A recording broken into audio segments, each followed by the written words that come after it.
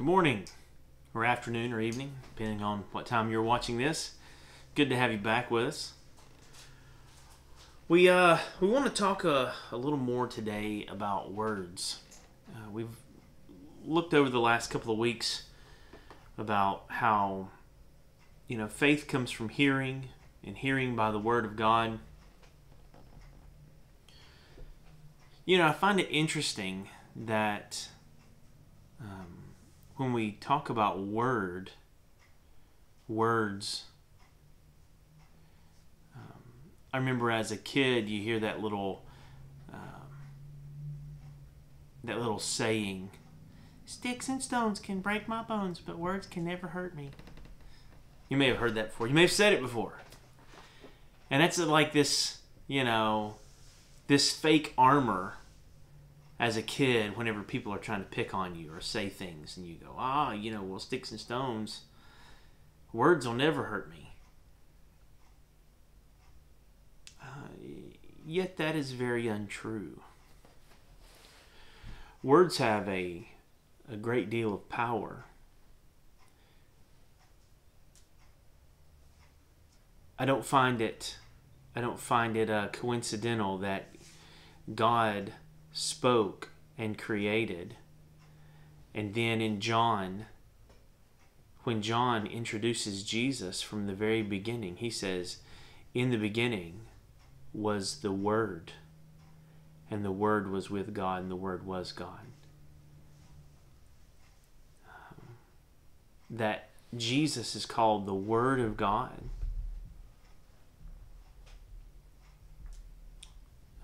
David in, in Psalm 119 dedicates this entire psalm to God's laws, his precepts, to his word. And in, and in it, he says at one point, Your word I have hidden in my heart so that I might not sin against you. Your word, what you said, means so much to me that I will put it in my heart and let it guide my life.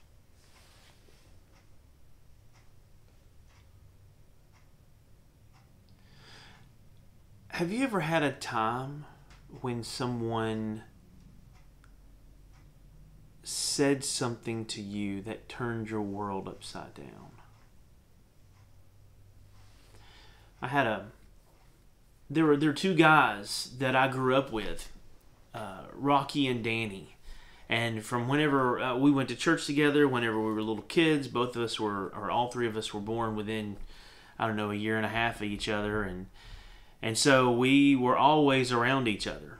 And these two guys, uh, to one degree or another, um, were my long standing friends.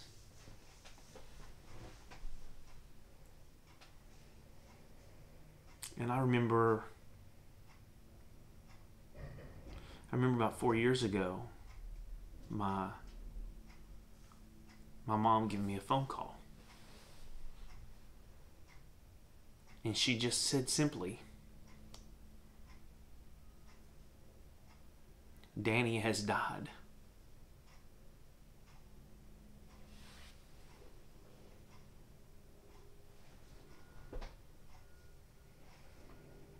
This guy was 43 or 44 years old, 43 years old. It was his birthday. Had just turned 43.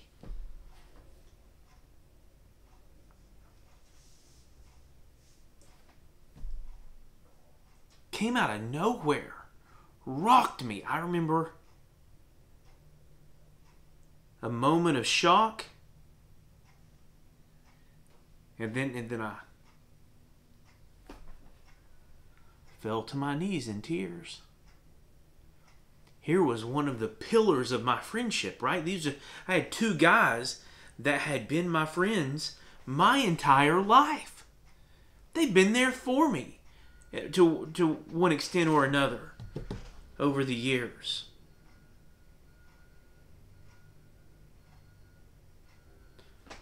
One phone call, one message changed something about me. And now I am different. I am an altered person from what I was before. You see? Words have a great power to them. And I'm sure you've probably heard things once or twice that have that have struck you.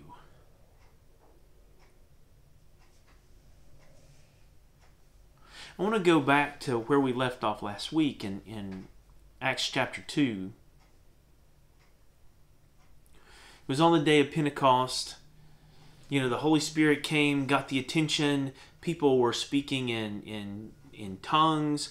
Folks were hearing in their own native language. Uh, it was a, a wild moment there.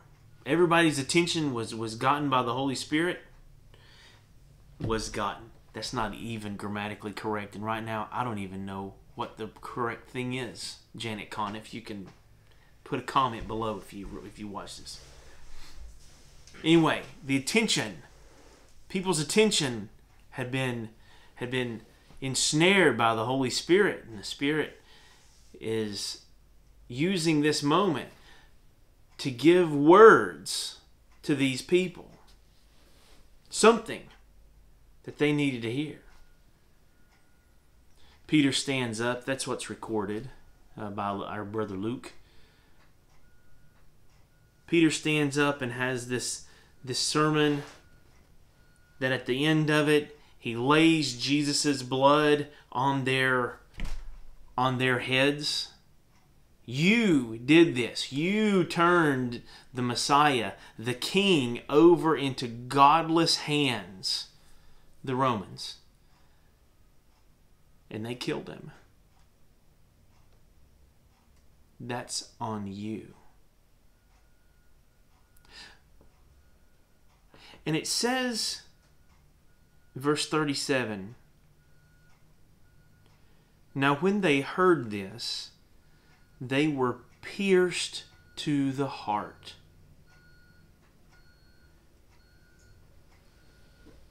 They were pierced to the heart. Pierced to the heart. And, and I don't think that, that we nowadays can, can understand the severity of what Peter laid on these people. I don't think we can we can adequately uh, understand what it was about this statement. Therefore, let all the house of Israel know for certain that God has made him both Lord and Christ, this Jesus who you crucified, right? And, and we talk about it. You know, we could talk about it. Our sin put him on the cross. You know, my, my sin uh, you know, he went to the cross because of me, because of my sin. And we can say things like that. But these people were there present, crying out, Give us Barabbas. What do you want me to do with this man? Crucify him.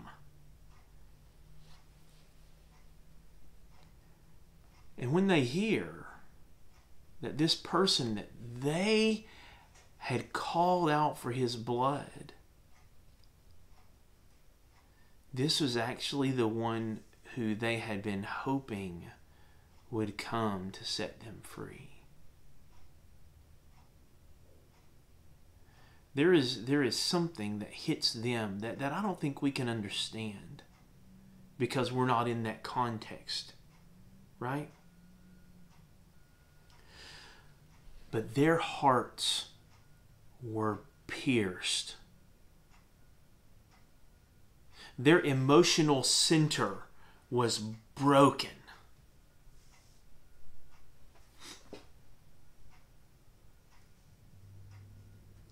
Their spirit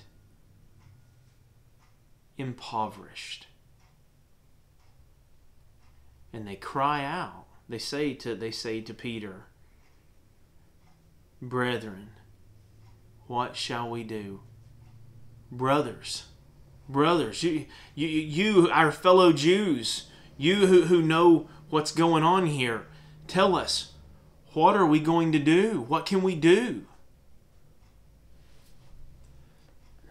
And Peter says, Repent and be baptized, every one of you, in the name of Jesus Christ, for the forgiveness of your sins, and you'll receive the gift of the Holy Spirit. For this promise is for you and your children, and for all those who are far off, all that the Lord will call to himself. All that the Lord our God will call to himself. So God is going to continue doing this calling, right? Jesus is going to continue doing this calling. The same calling that is within the message that Peter gave is going to continue on, right? Because there are other people who need to have their hearts pierced so that they can come to God and be forgiven, you see. And and you, your children and anybody else that God wants to call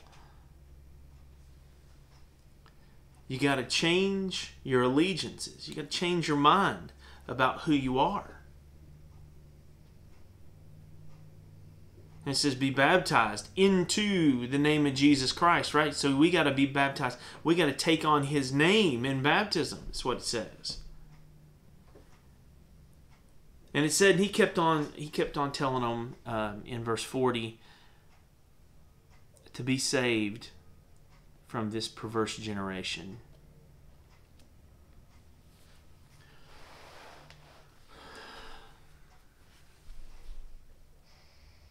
So these words are powerful.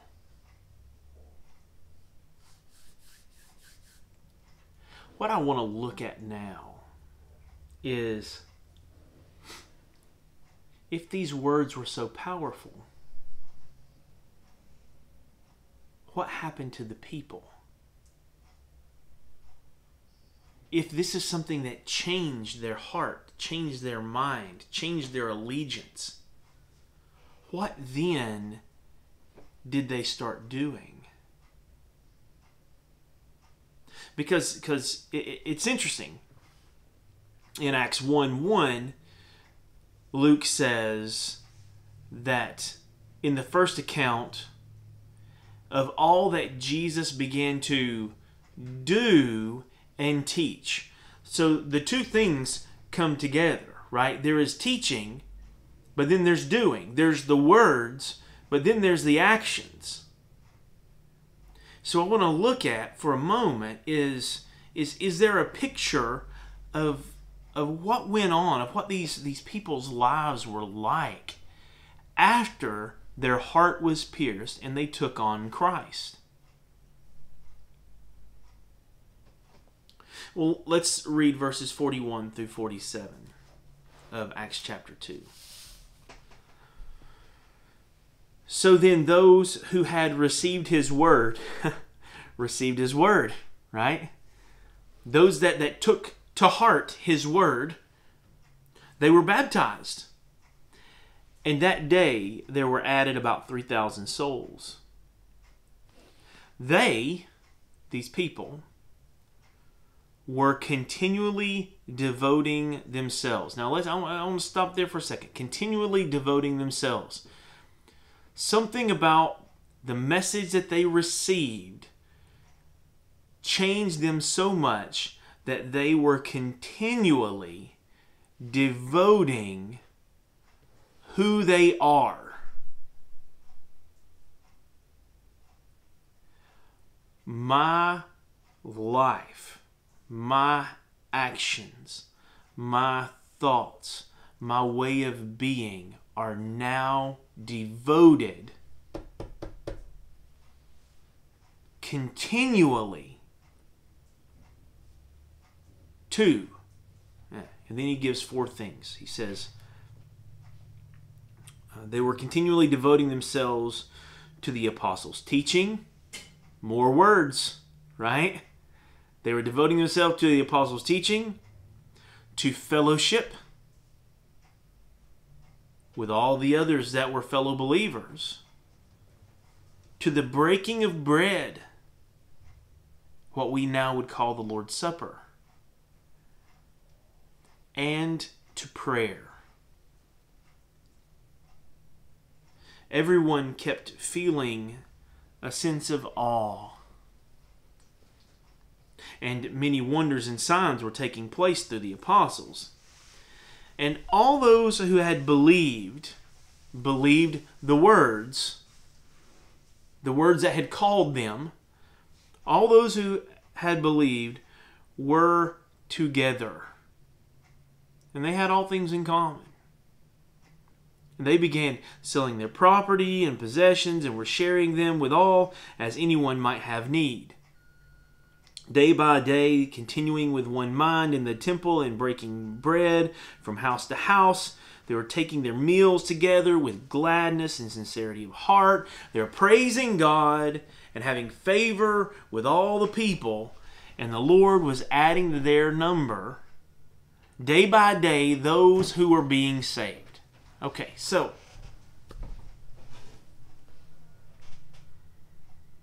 I don't know what the lives of these people were like beforehand.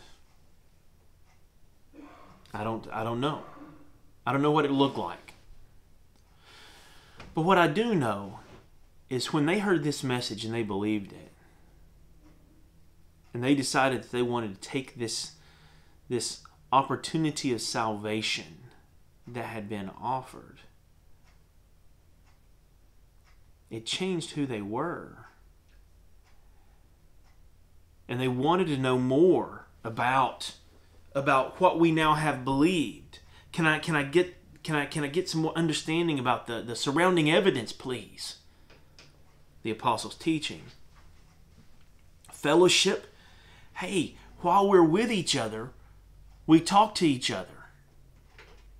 And we and we and we and we share the things about our faith. Now it's interesting to me that over in um, in the book of John, chapter fifteen, you know what? Let's just turn there real quick. It's only a few pages back. Jesus, in talking with his disciples, says this about friendship. About friendship. He says this. Um, hang on just one moment. I got to find it. Verse, uh, I'll, I'll start with verse 13. Greater love has no one than this, that one lay down his life for his friends. You are my friends if you do what I command you. No longer do I call you slaves, for the slave does not know what the master is doing, but I've called you my friends. Check this out. For all things that I have heard from my Father, I have made known to you. I call you my friends because I've shared the Father with you. And it's implied that they accepted it, right? They accepted what the Father has said. And he says, and everything that I do, everything I've commanded you to do, you you have joined with me in this. And since you have joined with me in this and you've accepted my Father, you're now my friends. And we have a bond that, that nothing that nothing can take away. And in the same way in the early church, these people had fellowship with each other. A fellowship that's based on what they believed. And there was a sharing of that message and the teaching of the apostles and what they're learning and what they're believing and what is changing them from the inside out. And they're taking of the Lord's Supper and they're remembering this thing. And then it says that they were praying. You see, words, not just words coming from God to us, not just words shared among each other, but, but also my words spoken back to God uh, about whatever. It really doesn't matter. God wants to hear them all. He wants to hear your stories. He wants to hear your hurts. He wants to hear your fears. He wants to hear everything that you've got. And as we come together and we share fears and we share hurts and we share those things, you know what? Let us share together our prayers to God. Words have power. Words have power to build up, to unify, to strengthen. to convict and change.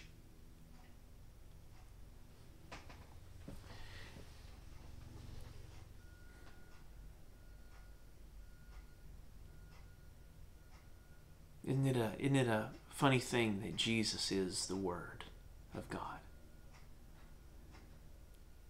The power of creation residing within our Savior. The power to bind us together, to save us, to call us, and to change us. I want to share one one last um, one last passage, and it's it's from uh, Isaiah sixty six.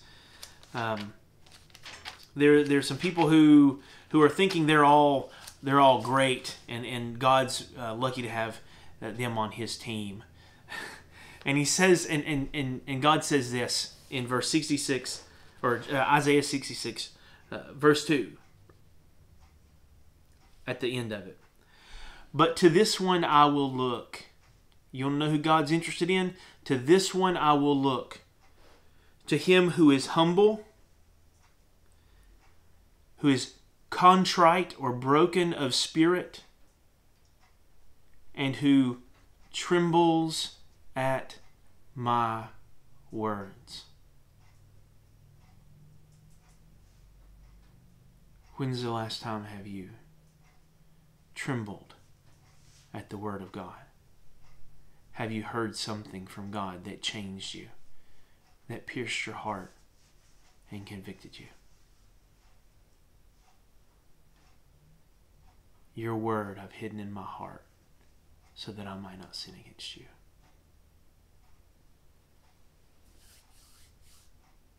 Hmm. Something to think about for the week. I love you, and God loves you too. And I thank you for being here. We'll see you next week.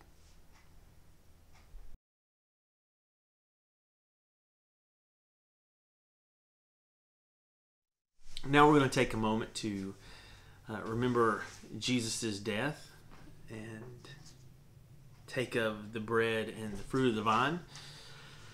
Um, we're, we're talking about words, and Jesus said some things whenever he was on the cross that are recorded. One of the things that I want to uh, highlight the words that Jesus said, uh, some of the words that Jesus said, have to do with his character and, and really his mission um, and who we're called to be in light of what he's done. In Luke 23, starting in verse 33, it says this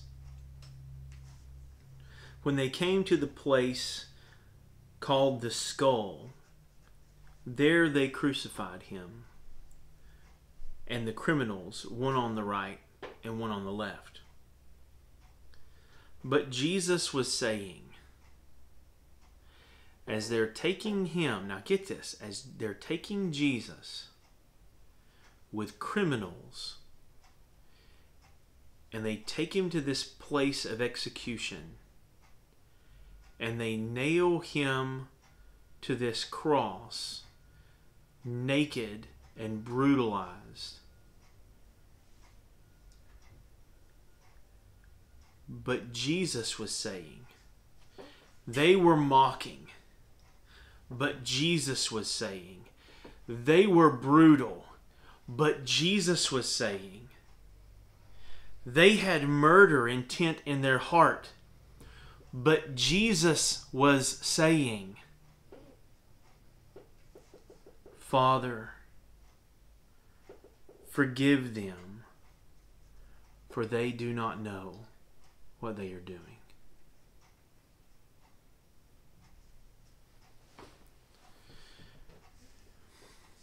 Father, forgive them, for they don't know what they're doing.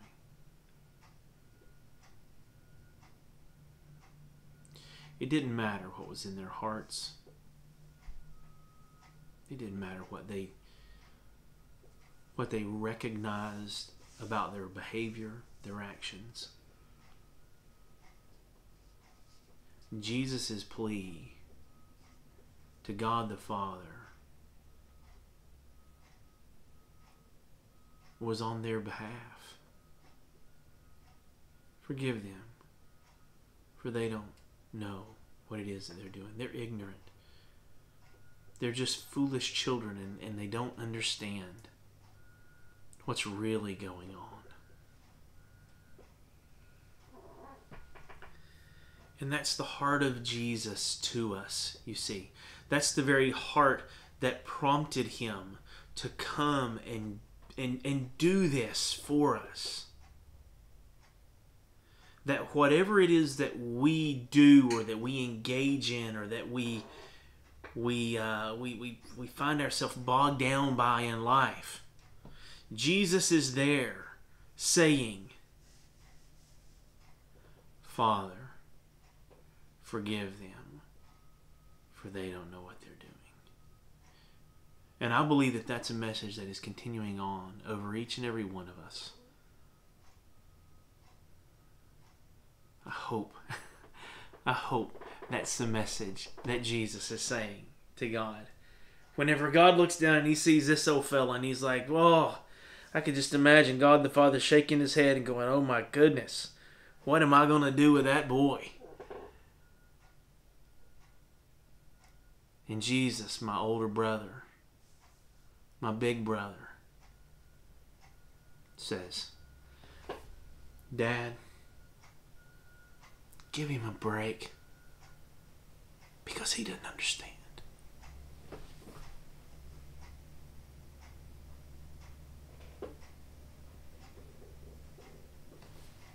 Because that's his heart towards us, evidenced by the fact that he gave his life so that you and I could be bought out of sin's hands. He gave his life so that we could have a covenant based on forgiveness with our God and Creator. And now's the time when we get to remember that big brother who has that heart, who cries out for forgiveness. And we take of this bread and we remember his body. Would you pray with me over this bread? Dear Heavenly Father, we thank you for your, your wondrous love and your grace and your mercy.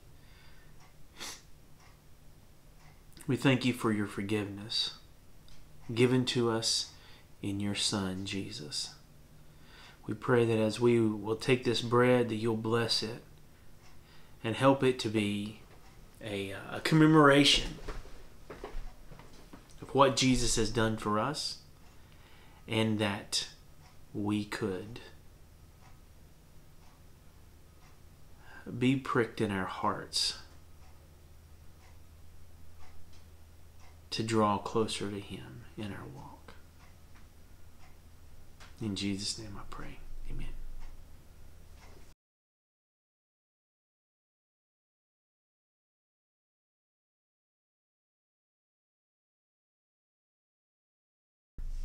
And now, would you pray with me over the cup? Once again, Lord, we come to you thanking you for Jesus and the price that he paid on our behalf. We ask now that you bless this cup so that it would be a reminder of the forgiveness that we have by the shed of his blood and the promise that you will always forgive us and that you're never going to leave us and that Jesus loves us so, so much. Thank you. In Jesus' name we pray. Amen.